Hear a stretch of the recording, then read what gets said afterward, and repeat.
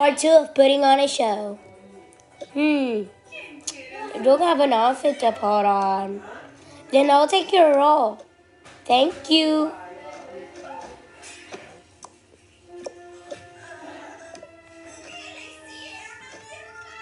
Let me see.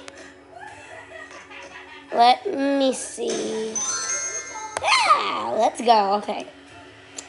So first off, we will go to a forest. Okay, come on. Ah, I'm looking for a human to eat.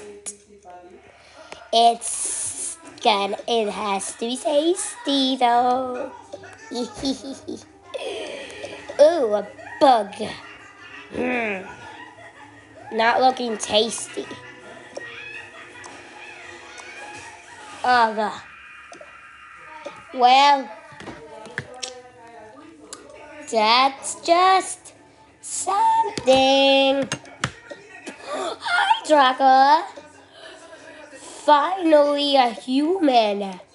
I'm not a human, I'm a rock. Well, I didn't know rocks can speak. Well, I can.